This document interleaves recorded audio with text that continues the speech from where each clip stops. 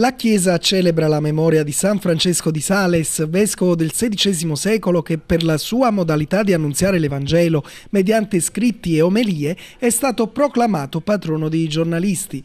Per l'occasione, l'Ordine dei giornalisti della Campania e l'Unione della Stampa Cattolica Regionale hanno organizzato un corso di formazione all'interno della Curia Diocesana circa la deontologia e l'informazione religiosa. Prima dell'intervento del cardinale Crescenzio Sepe, arcivescovo metropolita di Napoli, Don Tonino Palmese, direttore dell'Ufficio Giustizia e Pace dell'Arcidiocesi, partendo dai discorsi di Papa Francesco, ha spiegato la comunicazione ecclesiale nell'ottica dell'annuncio della buona notizia di Gesù Cristo, crocifisso e risorto, con particolare riferimento alle condizioni degli ultimi della terra. Il cardinale Sepe ha parlato della famiglia, tema scelto dal pontefice per la giornata mondiale delle comunicazioni sociali, prevista per il 17 maggio.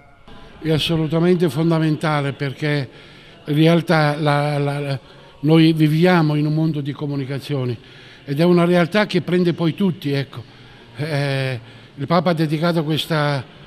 49esima giornata mondiale delle comunicazioni alla famiglia,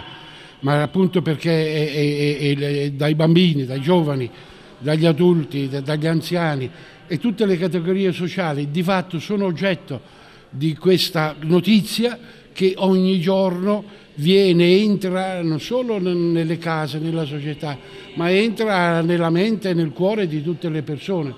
Per cui comunicare, comunicare bene, comunicare cristianamente per i giornalisti eh, cristiani, questa è una missione che eh, eh, richiede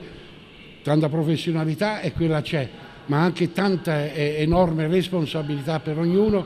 che non può non guardare alla comunicare la verità secondo tutti quei carismi etici, morali, eccetera, che sono parte essenziale della stessa professione giornalistica.